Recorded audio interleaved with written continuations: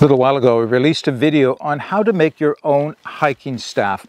And in the opening of that video, I discussed a number of things you can use your hiking staff for. Well, one of my viewers had commented that they would like to see me demonstrate a few of those things I had talked about. So that's what we're going to do today. If you're interested, keep watching. Right before I start any of the demonstrations that I want to share with you, there's just a few things I want to go over. First off is the stick itself. Now, I would highly recommend that you go back and watch my video on the making of this uh, staff that I have right here. But for the purpose of this video, I, there's just a couple things that I want to bring to your attention. First off, as I showed in the other video, there's a groove that I cut in the end of the stick here, and I just have a short piece of lanyard on it. And uh, one of the things I've done, it's just tied on with a clove hitch right here. But because of that groove, it stays on and it's not falling off. And I don't have to put a hole through the stick to hold it there. It works very well.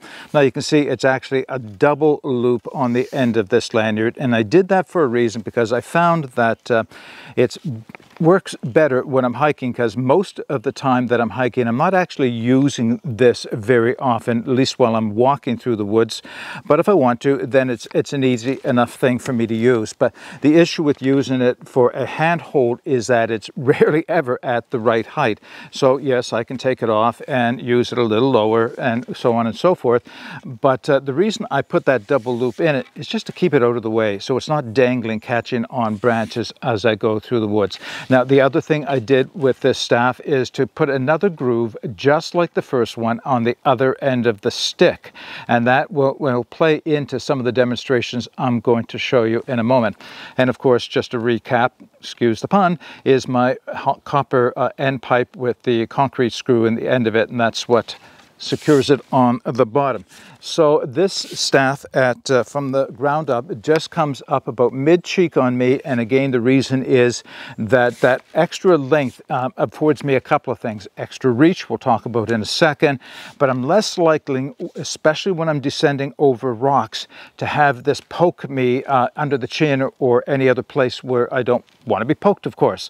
Okay so let's just go over a few basics of the stick and this will be more of a review than anything else these were all talked about in that other video, but uh, we'll get into demonstrations in a moment. So why carry a stick at all? Well, everything has to do with balance and having three points of contact while you're walking through the woods. So what this does for me primarily, at least in the area that I spend my time with here out in the wilderness, it's pretty rugged. The paths here cross a number of rock outcrops and I'm constantly going up and down and up and down. And what I find is that this makes both ascending, going up over the rocks, as well as descending much safer and much easier. And what I mean by safer is I can lower the stick below the height that I want. I can even put my hand over the top and allow, put my weight on the stick as I descend so I'm less likely to fall.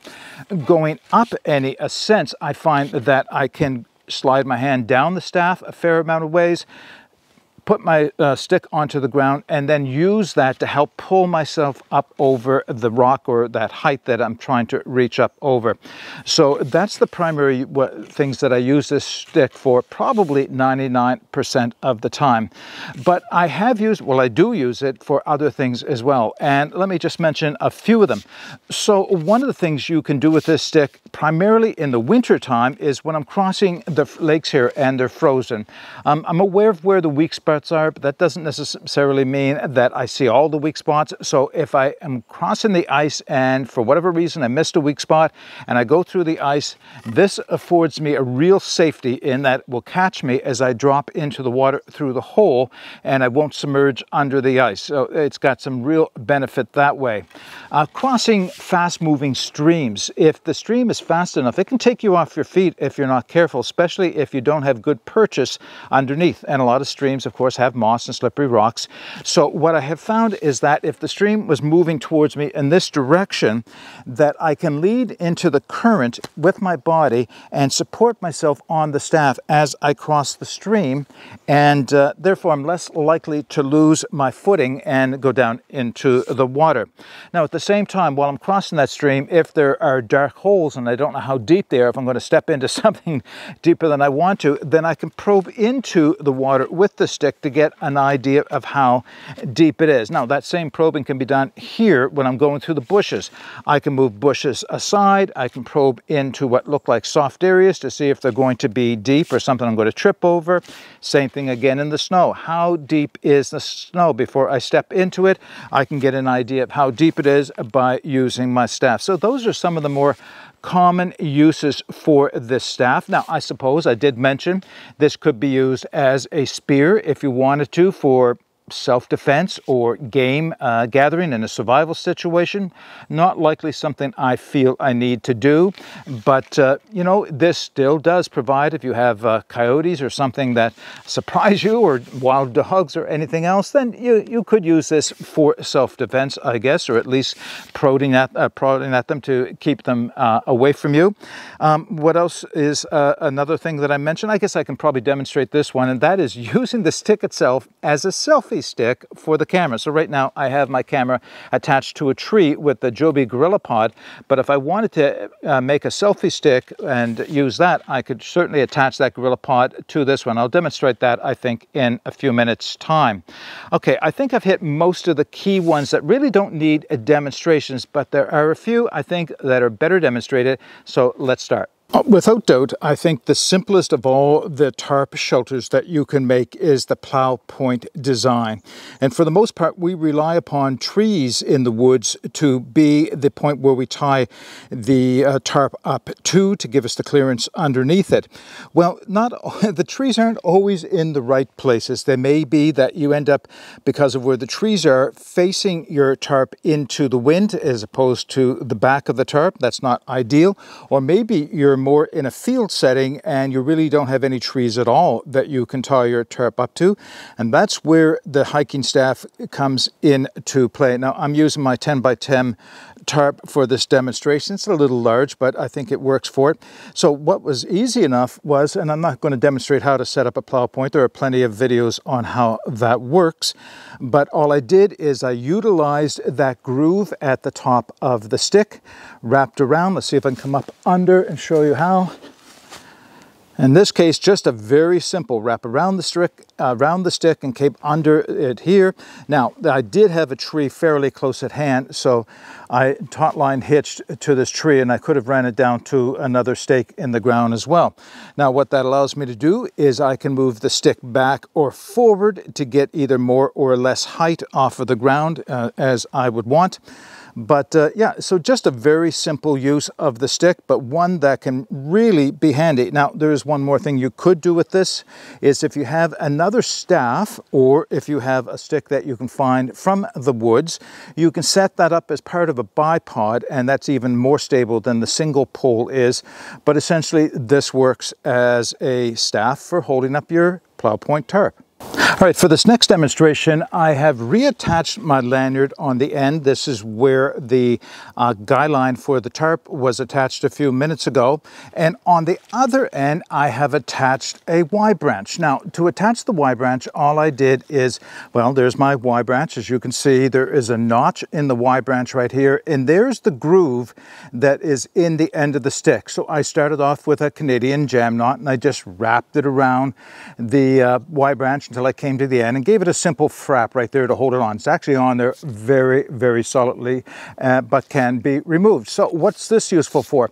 Well, in the original video, actually, no, it was a different video altogether. It was a video I made on collecting pine pollen. And I, I had to attach a Y branch to the staff I had that day to reach up to the trees to get a hold of the pine pollen cones so that I could collect a few. So that's one of the things I wanted to show how you can use use this staff for. So pine pollen season is long past this summer, but there is a tree right here, and it's just a simple, what is this? Witch hazel, a little bit of a witch hazel tree right here. And I want to show if this was a fruit tree or a pine tree I was trying to get some pine cones on, or something up in the branches here that I wanted to collect, but was obviously outside of my reach. And the, trick, uh, the tree may have been too thick to bend the whole thing over. Then an extension like this really comes in handy reach up, grab on, I can pull the branch down. Now, with the lanyard at the top of the staff, then I can actually place my foot on that. I have my hands free, and for as long as I need to, I can work picking fruit, do whatever I want to off of the end of the branch. And when I'm finished, release it, and then remove the Y branch and save it for something else. Okay, that's one, two demonstrations. Let me get together and do another one. All right, this next demonstration really is just an extension of the last one where I had the Y branch attend, attached to the end of my stick to pull down a branch so I could access it.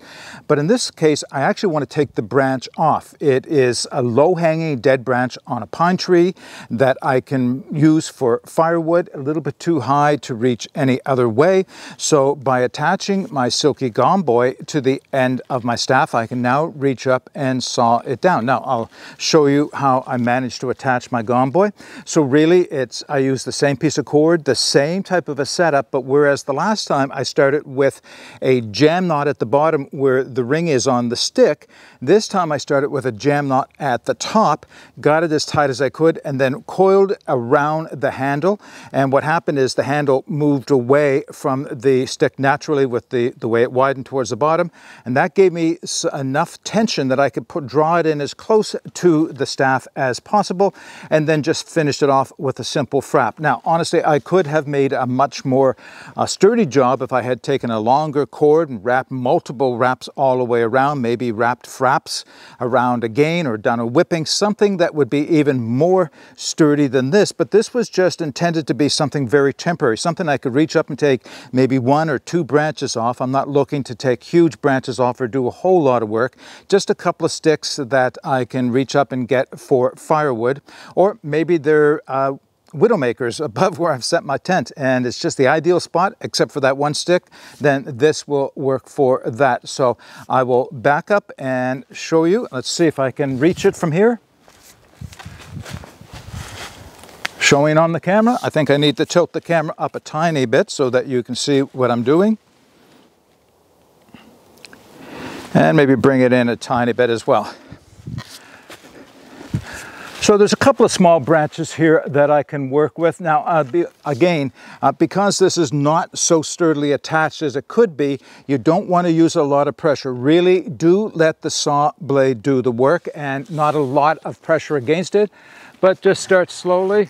Oh yeah, by the way, you'll get sawdust in your face if you're not careful. That came off easy enough. Another one just above it. Gotta love the gomboy, right?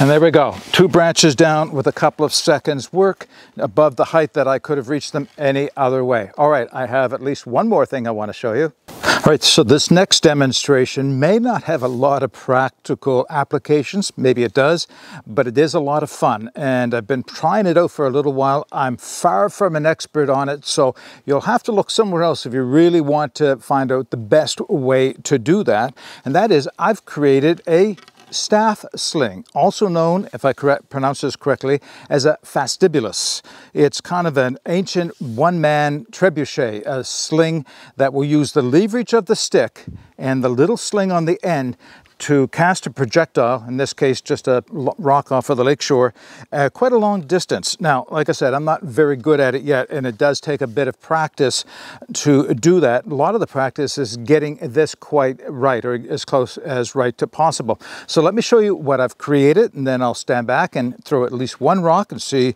if I can get it to go any distance at all. So once again, just a small piece of cotton, it was a rectangle of cotton, probably eight, nine inches long. I just gathered the ends like you would a little hammock, used uh, clove hitches on each end to hold it, and that created this little pocket type of a thing here. And on this end, I put a little loop, a uh, bowline, and it's extended for me about three and a half inches off of the end of the little uh, sling right here. And then I tied another clove hitch on the end of the staff where that groove is. Now, here's the concept, is that you would put this uh, loop over the end of your staff like that. You would have the pouch hanging like that. When you swing the stick forward and over, the loop will slide off and cast the stone forward. Now, the ones I've seen in, in other videos and in uh, pictures of ancient ones is they actually have a notch cut into the end of their staff right here. So when it's like this, it would rest a little bit more securely and not slide down. But fundamentally, the principle is the same. That will cast the projectile using the leverage of the stick. Okay, let's see if I can make this work and actually capture it on uh, video. All right, so I'll step back here. I may have to readjust the camera. Yeah, I think I'll just adjust the camera upwards a little bit so you can get a better view of what it is I'm doing.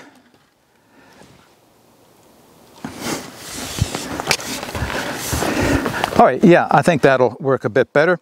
So the idea is you have your staff, you hold it out, put the loop up over the end into the notch if you have it built in. There, that's better. Put the rock in like this. Extend your reach out to the end of the staff and, and I hit a tree about 40 feet away. Not bad, wasn't trying to actually, that, to be honest. But with practice, you can do exactly that. You can use this little sling to reach out and strike things with. Now, uh, in ancient times, it was more of a, let me bring the camera down a little bit again. It was actually intended as a personal weapon that you could uh, make very easily, but it could also be used for hunting. I'm sure small games, rabbits and birds, could be dispatched with a little bit of practice, but this will cast a long ways. I've been uh, playing with it at the edge of the lake shore here. The only thing you got to make sure is, and I don't have a lot of it here, is clearance for the stick up above. Here, I'm in an open space is great. Believe it or not, down at the edge of the lake, there's canopy hanging out over the lake, so I couldn't get the swing I wanted to. But I was able to send projectiles, I don't know, 70, 80 feet, and I think with a little bit of practice, uh, you can do a lot better than that. This also is very makeshift, just to prove a point more than anything else. So yeah, uh, yes, a ballista or a staff sling. I've got one more I want to show you. All right, last demonstration will be how I can use the staff as a selfie stick. So you can see I've wrapped my GorillaPod around the distal end of the stick. And in a second, I'll attach it in there. There's the little receptacle for the piece that slides in. And I'll just show you how it works for a selfie stick. All right, a little bit of truth on this. The camera is a bit heavy. The, uh, I'm using a Canon M50 for anybody who knows what that camera is. So it's a mirrorless camera, but it's a bit bigger than the older camera I used to film with. But uh, so what I mean by that is it's just a little heavy on the end of the stick. And if I don't hold it just right, it wants to slide around and underneath the stick. Uh, it would probably work better with a smaller camera, maybe a little action camera, but it is working just fine, as you can see. I can wander around do the walking scenes you often see people do with a selfie stick and their camera attached to it at some distance, hold it up at a little bit of a height if I wanted to show the immediate area around my feet. It works well enough that I don't have to invest in and carry yet another selfie stick with bit more bulk, bit more weight. I have my staff, I can use that. Well, I hope you enjoyed this video. It was meant to be a little bit of fun going through a few of the things that, you can do with your hiking staff. I want to thank the viewer, and if I can remember the name or find the name in the comment, I'll be sure to annotate it on the screen as well because they deserve credit for inspiring me to make this video. Yeah, it was a fun video to make, but I know for a fact it isn't exhaustive. There is a lot more things you can do with a hiking staff than I've already suggested. I went over a few things that are the most common things I use it for, like hiking, obviously for going up and down over grades and, and rocky areas and the like. Um, I do use it for, with the Y branch for reaching up and grabbing branches, especially during pine pollen season. I have used it, not often, but I have used it for attaching a sawtooth. Um, I don't use it much for a ballista other than to have a little bit of fun with it. But I'd be interested in knowing, do you use your hiking staff for things other than the ones we've already discussed in this video? If you have, please put that in the comments section below because I think it'd be fun to see what else people are doing. Maybe I can try those, come back with another video, or at least share it with the viewers on what uh, uh, what is possible to do with a hiking staff, all the more reason to make one for yourself. I will put a link to the video where I made this staff. I'll put that at the end of this video, but I would invite you to put any comments or any questions or suggestions you have in the comments section below. But until next time, get out and explore and take that path less traveled because it will make all the difference. Bye for now.